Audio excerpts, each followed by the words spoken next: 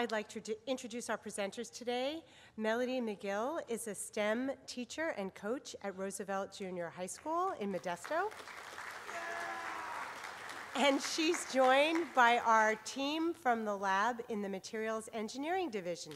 And I'd like to bring them out and let them introduce themselves to you.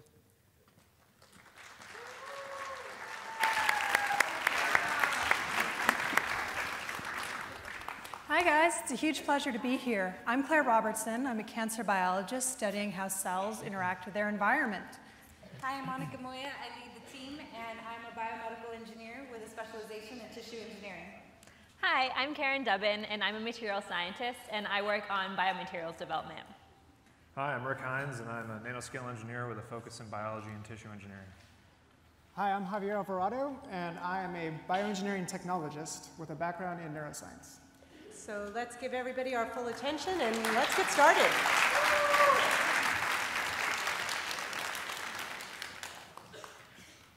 All right, guys, so unfortunately, this talk has to start with cancer. Now, what is cancer? Cancer is a disease caused by an overgrowth of abnormal cells. And most of the time, the tumors that you find in the body are not actually directly dangerous. Like, for example, you can live with breast cancer for 30 years and not know. What, when it does become dangerous, though, is when it metastasizes. So, what is metastasis? Many malignant cells, or many cancer cells, have the ability to go on the road. They leave the organ where they started and move to a different organ, for example, the brain. And this is when things become really dangerous. If you find a metastatic, metastatic cancer in the brain, that patient is not going to have a good outcome. So the goal, the, the, the goal of the work that we're doing is really to prevent cancer deaths. And the way we can do this is by trying to understand how does metastasis happen and how can we prevent it or even just find it earlier. So the question that, the question that then arises is how does metastasis happen? We have this process of cells leaving a primary organ, going to the brain. How on earth does that happen? Where is it going to happen? And why does it happen? Well, this is an awful lot alike to a really stupid question of how did that tree get there? Or how did the tree in your garden get there? And you may think, you know, cancer and trees, they are absolutely nothing alike. Well, let me see if I can convince you. So, imagine for a second you were a space alien and you'd come to Earth for the first time to study these things called trees, which some people say were kind of cool. Now, if you were a space alien and I told you some of those things are seeds that can give rise to trees and some of them are not, would any of you believe me? I mean, they're all about the same size and shape, they have similar densities. How would you tell which one's which? This is a lot like how I feel looking at this slide right here, which is half a millimeter by half a millimeter of a primary human breast cancer. There are thousands of cells in that picture. Every single blue dot is, a, is the nucleus of a different cell. Some of those cells can give rise to metastasis, and some of them can't. I have no way to tell them apart. Well, think for a second if you were that space alien coming to Earth for the first time, and I gave you this pile of mysterious things that could be seeds, what would you do? Well, because you're all good scientists, you might try an experiment. And what you might find if you were creative and tried for long enough that if you put some of these seeds into, into certain environments, they could actually sprout. So, for example, you might find out that seeds really don't like bugs, but they need dirt and they need sunshine, they need water, but not too much water. And you also might find that each different one of these items requires a slightly different environment to spread. And this is true for metastasis as well. It's not just the cell, it's also the environment that it goes to. What evidence do I have for this? Well, one really classic piece of evidence is that if you have a breast cancer, breast cancer likes to go to four organs in particular. It throws a lot of metastases to the brain, the bone, the liver, and the lung. On the other hand, lung cancer, it can metastasize very readily. The problem is it doesn't go to the brain. There's something about the brain that lung cancer doesn't like. Instead, it goes to bone, lung, and liver. And there's some organs where cells never metastasize to. Like it's completely unheard of to have a metastasis to the heart. In the entire history of Johns Hopkins Medical Center, they found six metastases to the heart. And think about how many cancer patients must go through Johns Hopkins. Just six. So what this is saying is that the soil in the heart does not grow cancer. But there's something special about the soil in the brain that's really good at growing breast cancers. Now, what could that be? You're all experimentalists, and we know that there's an environment in the brain. What's in it? Well, it's remarkably soft. It's about as squishy as things in the body come. It's full of a special protein called hyaluronic acid, which doesn't show up many other places. It has no white blood cells. The brain is actually immunoprotected. So it's kind of like having not a lot of bugs. And last but not least, the brain is really, really, really sugar rich. So 20% of the sugar you eat every day goes straight to your brain. 20%. And the brain is tiny relative to the rest of your body. But what, what should these factors actually matter when it comes to growing metastasis? The sad truth is we don't actually know. And the reason why we don't know has a lot to do with the ways that we study cancer. So in my lab, I almost always have a culture of cells growing. What does that look like? So we grow cells in petri dishes where they essentially sit on top of that petri dish, kind of like I'm standing here on this stage. They can grow. We cover them with media, which is an awful lot like Gatorade. It's got a lot of sugar and electrolytes and stuff like that. It's like 100 times more expensive, though, so please don't try to feed your cells Gatorade. And if we take a look at them in the microscope, they kind of look like this. You know, you get colonies of cells. In that dish, though, is there any hyaluronic acid? No. How, how hard is it? It is about as hard as this stage. It's extremely hard. Additionally, there's no immune cells, there's no supporting cells, there's nothing there. So to study these sorts of factors, the way that we've traditionally done this is to go to mice. The problem with mice is that mice are not people, and people are not mice. If any of you guys are large, hairless mice, get back in my lab. You're not supposed to be here, you're supposed to be there. And mice, mice and humans are very, very, very different. Our proteins are different, our lifespans are different, the number of cells we have and the, the metabolism we have are all very different. So what this means is if I'm curious about how sugar will affect the growth of metastasis, I can't actually study that in a mouse. So what this means is that to answer these sorts of questions, we need to build new test beds. But wait, I've told you about seeds, I've told you about soil. There's one last piece of the puzzle for how did this tree grow in my backyard? And that is how on earth did that seed get there in the first place? And we know that there's lots of different ways that seeds get carried, depending on how big they are and what kind of seeds they are. Like you find seeds in your dog's fur coat. Or a lot of times, animals will eat seeds and then poop them out somewhere, and so you tend to get seeds in an environment surrounded by poop in certain places. But like that wouldn't happen in the desert. Now, there's no freeways in our body. Well, actually, there kind of are. We have what's called the vasculature system. So this is a series of blood vessels ranging from about that big down to microscopic, down to one cell size. And these different, these different vessels have some really different properties. Along with size, some of them are really straight, some of them are really curvy, and some of them even fork. Now think about when you're trying to get off the freeway. When there's a fork, things tend to slow down, they tend to become really swirly. Could this help explain where things are going to end up? Is there some logic to where seeds like to spread based on the vasculature? This is another question that I can't tell you the answer to because we don't have a test bed to test it. And last but not least, one more part of the brain that I think you guys should know about is a thing called the blood-brain barrier. Finding a brain metastasis is actually really, really surprising. It's about as surprising as finding this little tree growing out of this rock. So this is a thing that really shouldn't be there. And the reason why is that the brain is really good at filtering stuff. And to tell you a little bit more about this specific filter called the blood-brain barrier, Monica Moya is going to come out and tell you a little more. Thanks, Claire. So the way that things get up into the brain um, is through the capillaries, so the blood vessels in your brain. And they have a really important job. They form what is called the blood-brain barrier. And the job is of the blood-brain barrier to act kind of like the bodyguard to your brain. It's not going to just let anything to your brain because the brain is pretty exclusive, right? So to better help illustrate what does make it across the blood-brain barrier and what doesn't, I'm going to have the team come out and do a quick demo. So come on out, team.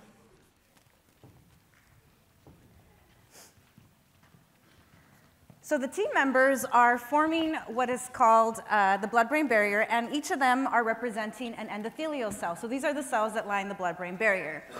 Now, Sam is going to help me demonstrate what does and doesn't make it through. So you've got really small things that have maybe the right charge and are the right size. These things, they really go easily through the blood-brain barrier. However, large things like this big protein here, these do not quite make it through the blood-brain barrier. Now, it's not just uh, whether small or big things make it through. Sometimes the blood-brain barrier helps get things across that the brain really likes, like Hershey's, right, chocolate. This gets converted into glucose, and um, the brain actually really likes it, and it will just grab it and uh, take it across. And then lucky for me, caffeine happens to be one of those things too that very easily goes across the blood-brain barrier. So Claire mentioned it's really surprising that cancer can make it through. Can I get a cancer cell? Javier the cancer? So Javier the cancer cell is clearly way bigger than this protein, right? And somehow he's able to make it through. How do you make it through, Javier? Maybe that's how it happens. Who knows? Thanks, guys.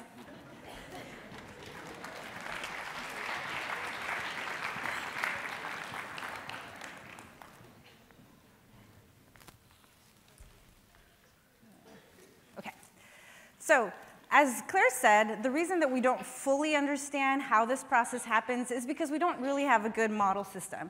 As she pointed out, we're not hairless mice, and yet this is where a lot of the cancer biology work is done. And so what we need to do is create um, better models. And so that's what this talk is about, is creating models to help us understand what makes it across the blood-brain barrier and how. And so we have two model systems. One is an experimental system that we 3D bioprint, and it's a physical system that we're able to test different things and make measurements and look to see what the results are. Now, we have a collaborator out at Duke that makes an experimental, uh, sorry, a computational model. And what this is, is a lot of equations and math and so what happens is you take the input from the physical system, it gets put into this model, and hopefully what it puts on the outside is the results that predict what we see in the experimental system. Now for the remainder of the talk, I'm going to focus on the experimental system. And the way that we build the experimental system is using 3D bioprinting. How many of you have heard of 3D printing or bioprinting? Yeah, it's pretty popular now. Really, in the last couple um, years, maybe even the last decade, we've seen a lot of sort of splashy headlines of what people are doing with bioprinting. You know, astronauts are bioprinting now in space. We're using 3D bioprinting to create simple organs like the ears or the bladder.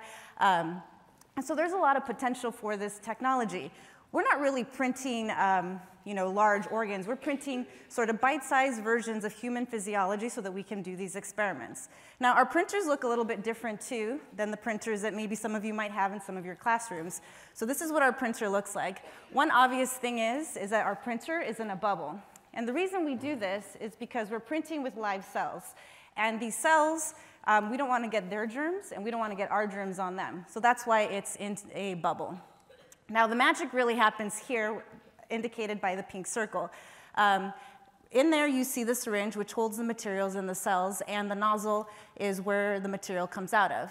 So this is a quick video that just shows the printer in action. So here you see the printer. It's extruding out the material, um, and it's forming the different patterns and shape that we want to. And it's printing into a reactor. And Rick, in a couple of minutes, will come out and tell us what this reactor does and how it functions um, with the print. Now, people call it 3D bioprinting, but I always say that you should just call it 4D bioprinting because the fourth dimension is time, and it's absolutely the most important dimension when you're talking about printing with living cells. Mainly because we want to keep these cells alive through the entire process. So we want to make sure that they stay alive in the preprint process, so before we load them into the syringe, while they're being printed, and then finally the post-print process. And this last step is really where all the magic happens, because once we've printed our tissue, we now have to continue to culture it so that it can grow, and that's where we then start to see the, that's where we then start to do the experiments on. Now, the question I always get when I tell people that I'm 3D bioprinting is, what in the world are you actually printing with? Because some of you that have printed with 3D printers know that you can use plastic, but you can't put cells in plastic because that's not the environment that they're used to. I'm not made out of plastic, and so the cells don't like that environment. So one of the inks that we use is called a self-assembled bioink. So these are inks where the materials that we're choosing are materials that the cells recognize. So for example, one of the materials we print with is fibrinogen and thrombin, which is circulating in your bloodstream right now, and when you cut yourself, it forms a blood clot. So the reason we print with this blood clot is because the cells know that they can remodel that environment. So these pictures that you see here, they started off as little tiny dots. And then, because we put them in this material that they recognize, they form these beautiful blood vessels. Now, a lot of the materials that we print with tend to be kind of soft. So imagine if I stack a bunch of soft things, they're all going to kind of collapse on each other. So we use what is called a support bath sometimes to print our materials.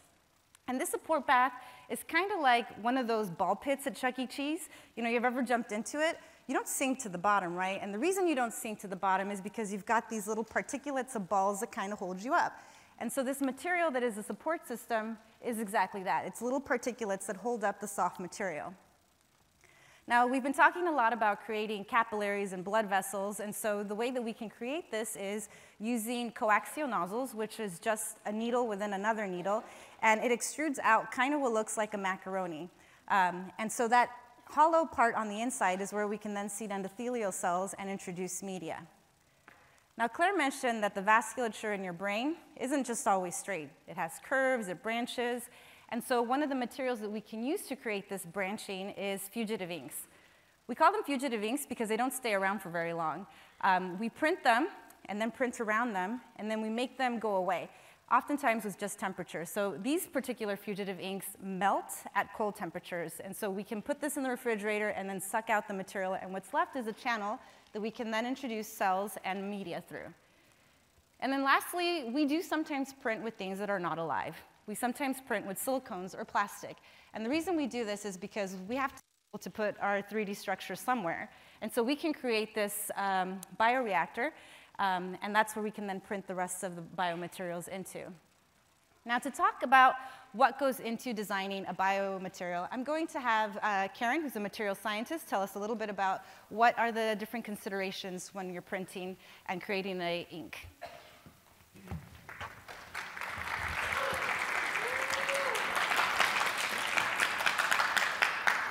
Thanks, Monica.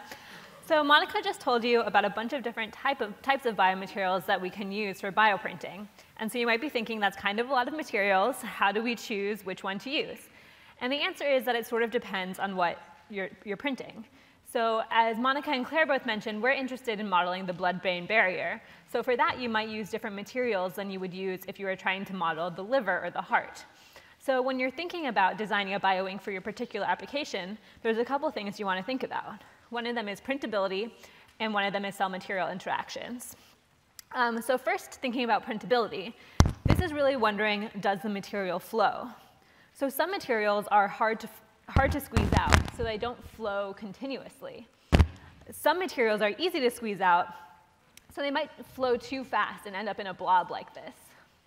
And some materials are just right, um, so they print just the way you want them to, and you're able to pattern correctly. So to demonstrate this, um, I have Melody and some student volunteers to show printing, to demonstrate printing with household materials. Good morning. We have some assistants today from the Prodosi's Youth Scholar Program. And so they're going to be um, printing with different household materials. So we have, on the end, we have Vanessa who's going to use gelatin. We have Samantha who's going to use toothpaste, and we have Lourdes who is going to print with maple syrup. And we're going to see how those flow outside of the nozzles. Ladies, let's print science.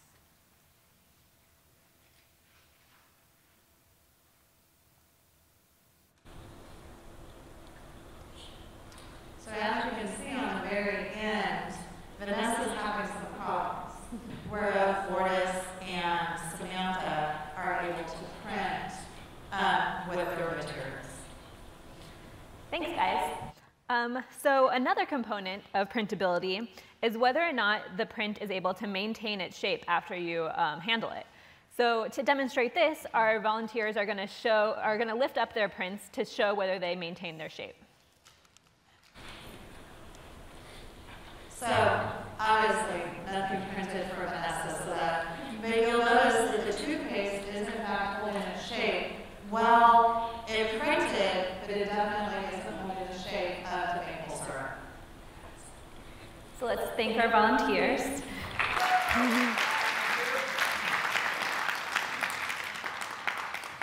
Uh, so there's also some other components of printability, which is the right level of detail or resolution.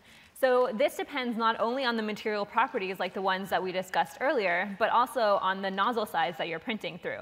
So you can imagine a, a nozzle with a larger hole would print a thick line, when a, a slightly smaller one will, will print a medium-sized line, and then a really thin nozzle will print a very thin line. And there's not to say that one of those is the best. It really depends on what type of resolution or detail you're trying to get for the particular tissue you're trying to pattern. So to demonstrate this, we're going to use toothpaste, which was our best ink from the last one. And uh, we have um, some new volunteers. Yes. Again, students from the Pedrosi Youth Scholar Program. We have Louise, Candace, and Karen. So Louise is going to be printing with the very large nozzle. Um, Candace is going to be presenting with kind of an intermediate nozzle. And Karen is going to be presenting with, uh, printing with a fine nozzle. Ladies and gentlemen, let's print science.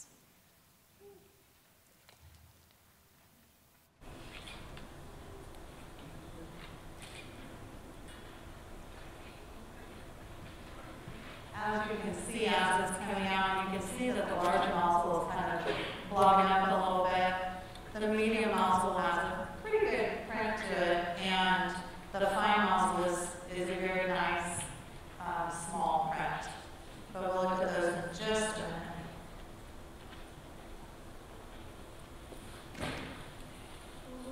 So if you guys want to turn them and stand them up. And again, all of these printed uh, sort of well, um, but it really just depends on what sort of application you want to use them for. So let's thank our volunteers again.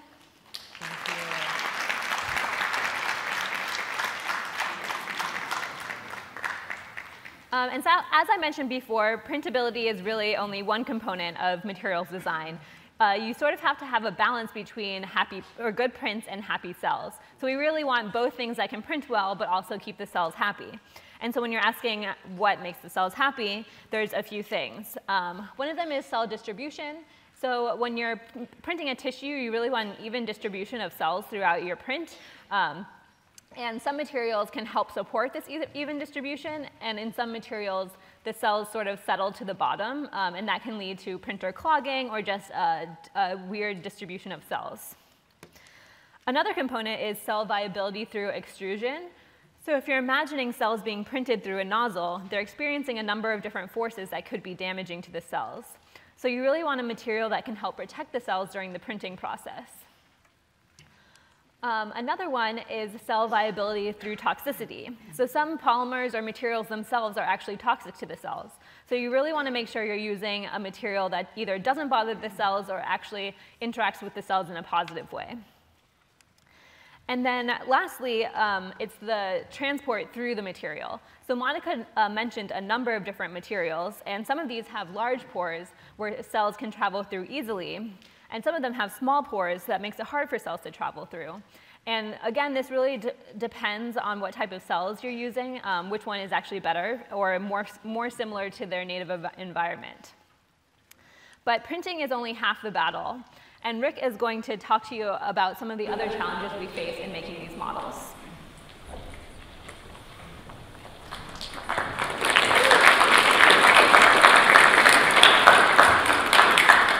Right, so Karen just talked to you a lot about printing living things and how we do that, and obviously that's a really important part of what we do, but it's really, like she said, only half the battle.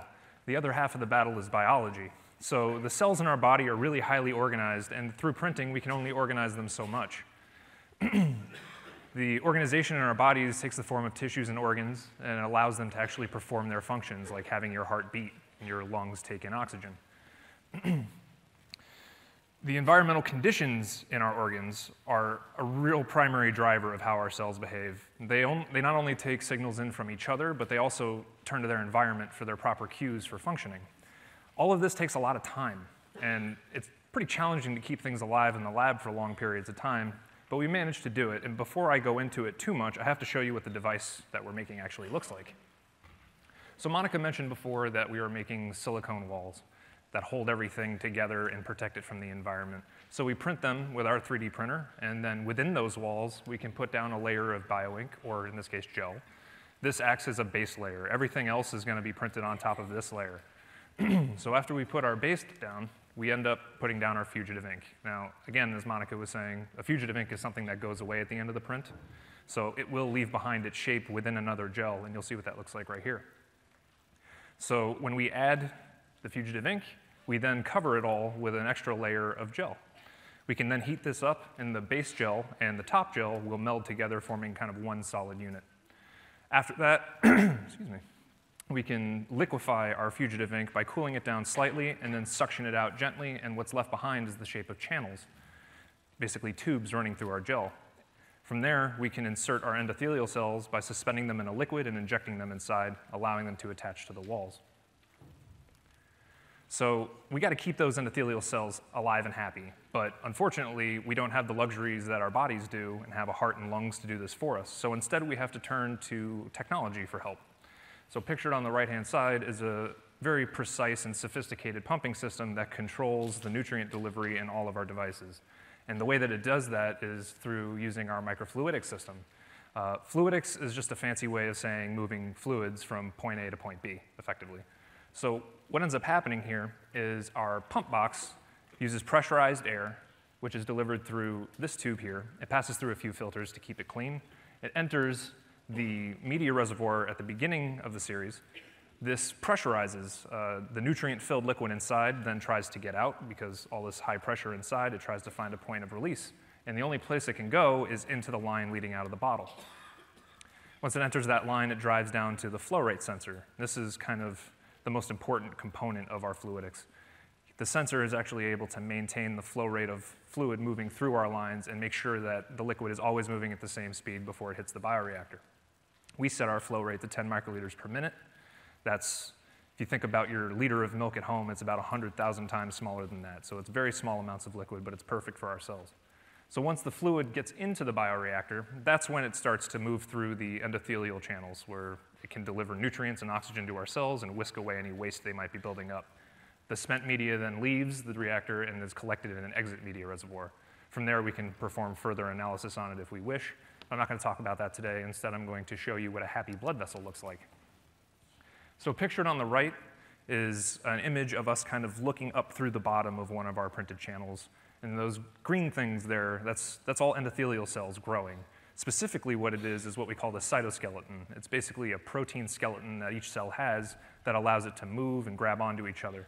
And if you look real closely at the image, you can kind of see that all their little skeletons are aligned in the direction that the flow is happening. That's really important because if I took a blood vessel out of my body and stained it for the cytoskeleton and took a look under a microscope, I would expect to see something very similar. So that's good. That means that we're giving the cells an environment that's actually allowing them to form that blood vessel. If you look at the image on the right, if we let these blood vessels grow long enough, they start to adapt to their environment and begin sprouting into it, forming really, really small blood vessels off of the one we printed. And this is critical because really it's showing that we've given the cells an environment that they can adapt to and remodel and start to behave like they would in the brain. So that was kind of just a simple, kind of boring, straight channel, but we can print pretty much as arbitrarily complex as we want to be. So in the upper left-hand image is an image of a branching channel. It branches twice, and each branching makes the vessel a little bit smaller and a little bit smaller, and then it grows back together. This is kind of a small model of your circulatory system. Your blood vessels start large, they go small, and then they get large again before they get to the heart. So here in these images, what we're looking at really are these little glowing beads that we flow through the device so that we can see what our channel shapes look like. So in the image on the bottom, we have eight channels side by side, and the image, what it's showing you is as if we cut those channels directly down the middle and look down them like tunnels to see, well, how circular are the channels that we're printing? How close to a real blood vessel are they? And they turn out to be pretty close. If you look at the image, or sorry, the video on the right, you can see here we're flowing beads through the channel. So we have the beads suspended in the liquid, we're pushing them through. Uh, when it gets really bright, we're using a high pressure, lots of beads are flowing. So the microscope is seeing a lot of light. When it's going slowly, it gets very dim, the beads aren't moving as fast. But if you look really closely, you can actually see that the vessel size is changing based on the speed and the pressure. So higher pressures, the channel is getting larger. On the lower pressures, it's starting to shrink. Again, this is something that happens, that's happening in our bodies right now. Uh, so again, now we've given the cells an environment that they can form a blood-brain barrier and it gives it the mechanics that the kind of the brain, vessel, brain blood vessels have anyway. Sorry, I think I'm still recuperating from the beach ball to the face. So now I'm going to introduce Javier, who's going to talk a little bit about the measurements that we do in order to get useful information out of our device.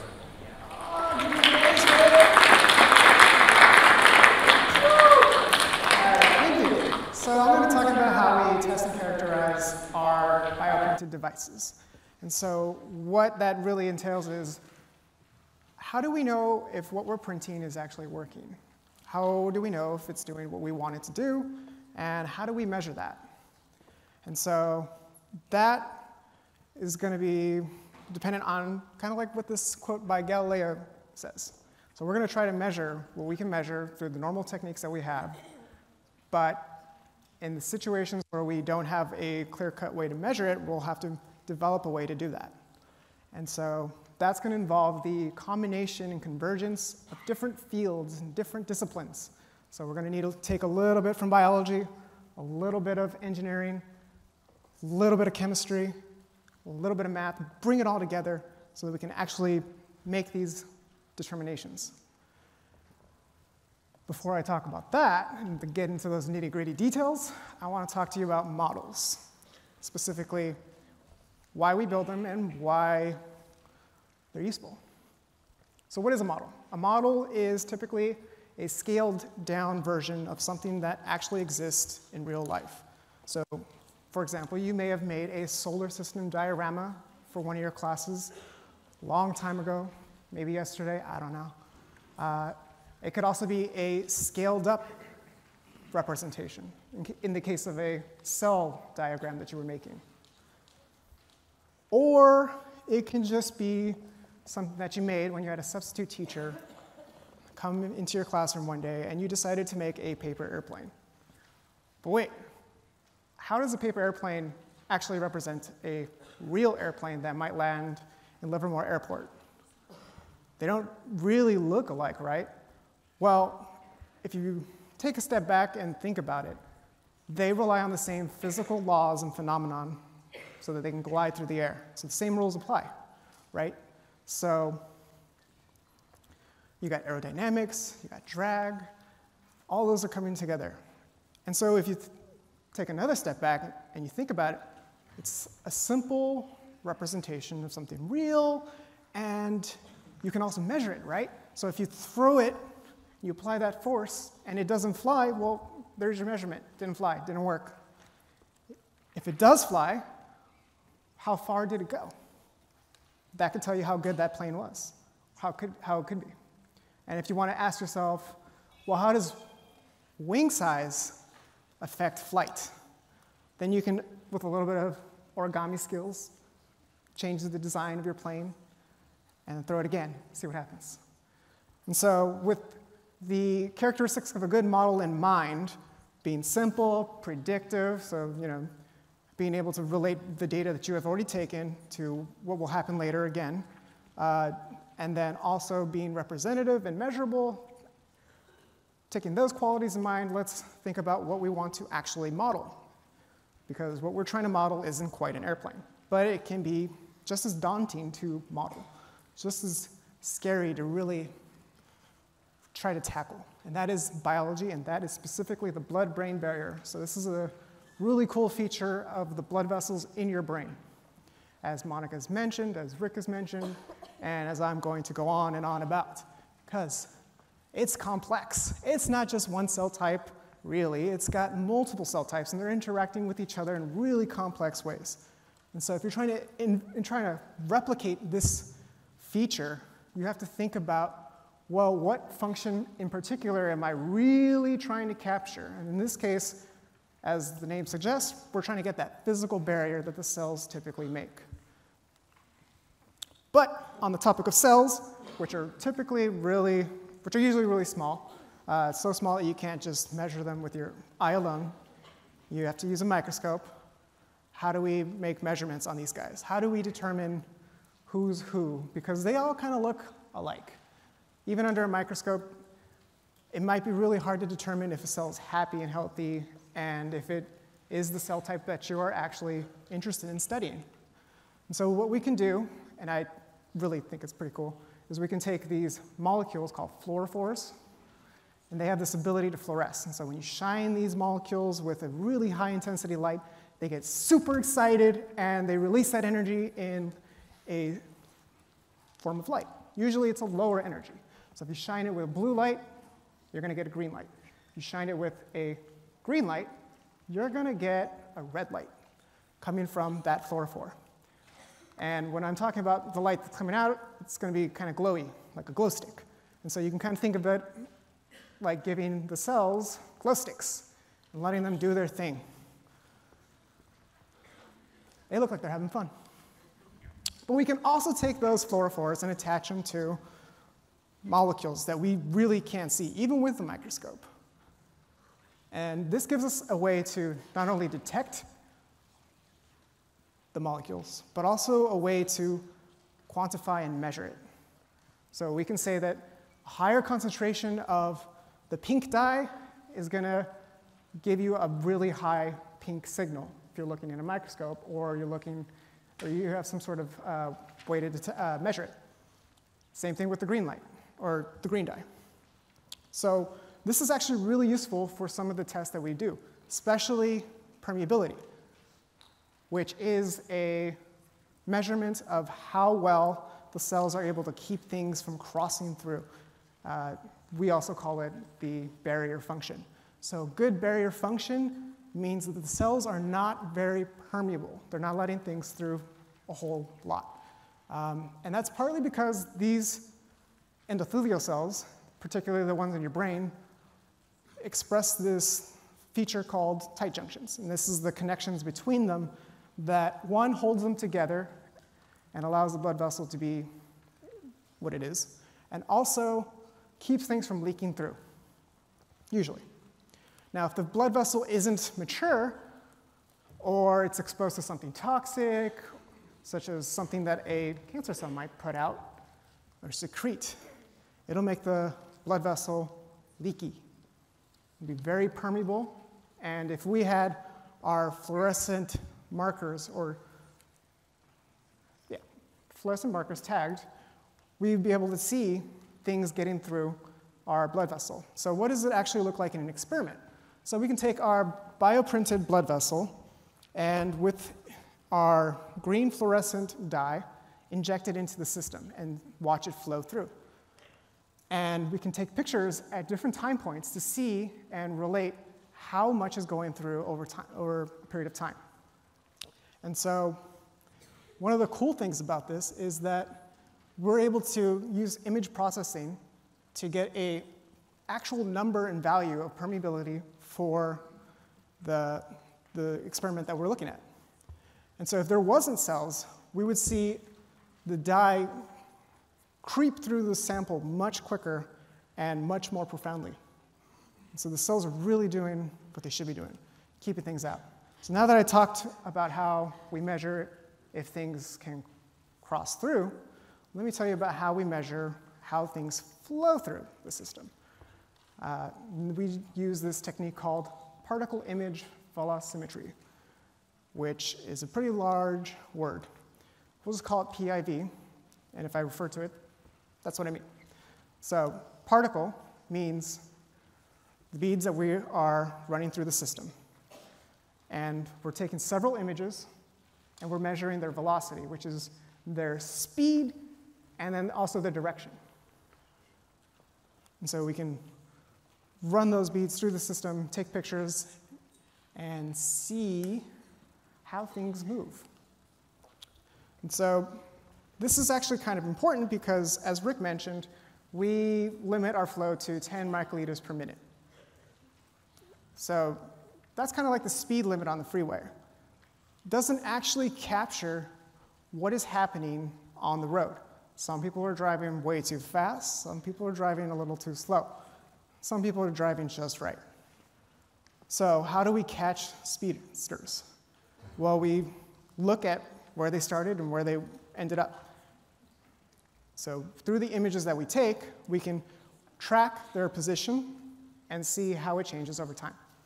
And so, for example, I'm going to show you two frames, and we're going to track these beads in particular and see if we can catch the speeders in our system. Oh, did you catch that? Who thinks the middle ones were the fastest ones? If you, yeah, What about the slow ones? Who thinks the middle ones were the slow ones? Uh, okay. So we're going to have to do a little bit of math to determine that. But we can also think about it in terms of like what's happening in the freeway, right? So if we're tracking them as they're moving through a period of time, what is that actually going to look like? So we've tracked their position, and now we can assign a, a speed based on how much they moved in those two time frames. And we'll be able to assign a color value for this. So the, the fast speeders are going to be red cars, and the slow pokes are going to be blue. And people in between, a little nice golden color. And so that tells us the speed of these particles at this time, right? So for those of you that were able to determine that the speeders were in the center, good job. As you can see, the slow ones were at the edges. But that just tells us our speed. What about their direction, right? Because we that's the other part of velocity. Well, through those same pictures and analysis, we can also say that we know where they're going and how far they went. So that gives us these little arrows that help us determine their direction. And so now we have their velocity. And let's go back to those beads. So now we know what they were doing in our flow. So now let's take it back to actual data.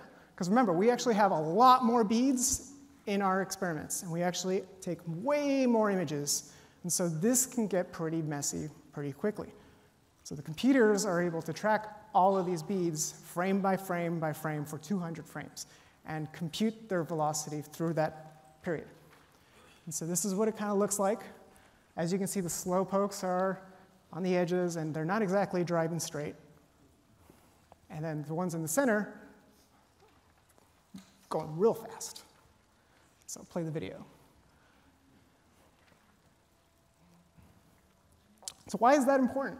Well, remember, we're trying to study how cells, particularly cancer cells, spread to the brain. And so the way, main way that they're going to get there is through the flow path that we give them.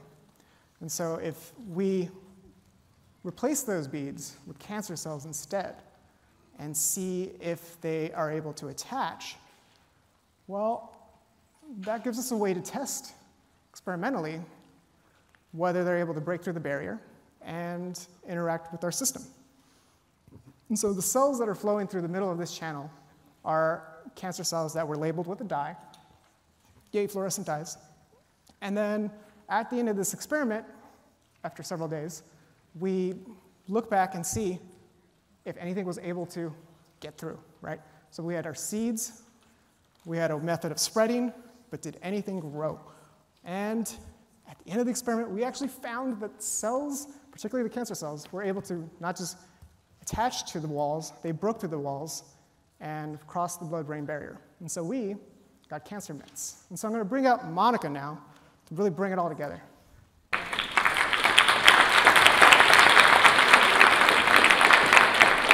I want to bring the question that Claire posed at the beginning of this talk. How on earth does metastasis happen?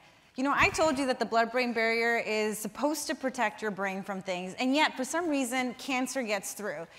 And it's super weird, right? I mean, it's just as weird as seeing a tree grow out of a rock. And yet, both things happen in nature. And it happens because we have soil or cells that travel and somehow find the right fertile environment. And what's cool about the model that we created is that we're able to observe all of this happen. You know, Karen talked about how we have inks that we optimize and how these inks are not just optimized so that they look nice, but that they are also optimized so that they work with the cells. Um, so that, because these inks are ultimately what becomes the soil. Rick then told us how we can look at that spread process by culturing these in a bioreactor where things flow through. And the reason, of course, that we're doing all of this is because we really want to create models that help us to better understand the metastasis process. And if we pair this experimental model with the computational model that I talked about at the beginning, we can potentially predict where cancer is likely to spread to. Now imagine being able to go to the doctor and have the doctor tell you, hey, watch out for this area because this is an area that seems to be the most vulnerable for having the metastasis spread. What that will allow us to do is be able to create, um, have much more targeted therapies as well as early detection. And having both early detection and uh, targeted therapies are two things that are really going to help improve outcomes. And the last thing that I really want you to take away from this talk is that really this kind of work is not the kind of work that I could just do alone. It really takes a village. Actually, let me bring my village out. Village, come on out. You heard at the beginning of the talk, okay, yeah, they deserve a round of applause.